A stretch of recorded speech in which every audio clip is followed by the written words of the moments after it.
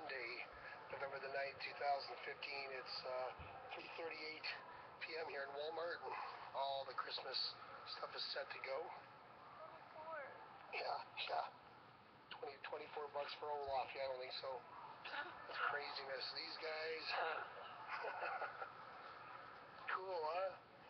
Look at this, see? Everything's all set. Everything that was Halloween is now Christmas. You know that? Everything, everything that was Halloween is now Christmas.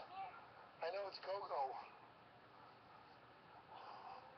69 bucks for go-go and still 69 bucks. Be cool.